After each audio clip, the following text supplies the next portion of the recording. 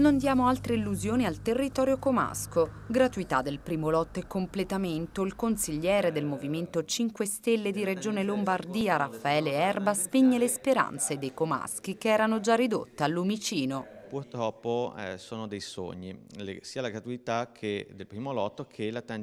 del, pardon, il secondo lotto della tangenziale di Como. Questo perché già abbiamo avuto in commissione, anzi in audizione presso la, la, la quinta commissione, i, gli stessi gestori di Pedemontana che ci hanno purtroppo detto che per ragioni economiche il primo lotto è l'elemento fondamentale per poter sostenere economicamente il, tutto il business plan della Pedemontana. La tangenziale di Como ha un introito di circa 2 milioni l'anno, per renderla gratuita occorrerebbe ricavare da altre fonti la stessa cifra, mentre il completamento che negli accordi accordi tra concessionario e gestore previsto solo come progetto risulta al momento insostenibile economicamente. Dalle stesse dichiarazioni di, eh, degli amministratori di Pedemontana anche loro dicono purtroppo l'opera finanziariamente non è sostenibile, sono dei costi molto alti e difficilmente un privato si azzarderà a entrare